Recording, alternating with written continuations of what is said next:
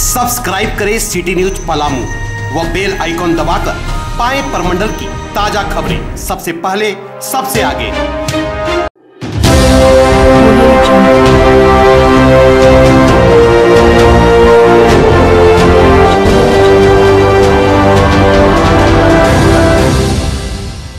भारतीय जनता युवा मोर्चा की ग्वाबल मंडल अध्यक्ष हरेंद्र सिंह ने आज पार्टी छोड़ झारखंड मुक्ति मोर्चा का दामन थाम लिया। इस दौरान विधानसभा क्षेत्र के बनपुरवा, रवाना तथा रंका बोलिया के कई समर्थकों के साथ हरेंद्र सिंह के छामुमो में शामिल होने पर छामुमो प्रत्याशी मिथिलेश ठाकुर ने जनसंपर्क के दौरान कहा कि यह बदलाव की बयार है। विधानसभा क्षेत्र में छामुमो काफ़ी मज़बूत स्थिति में है।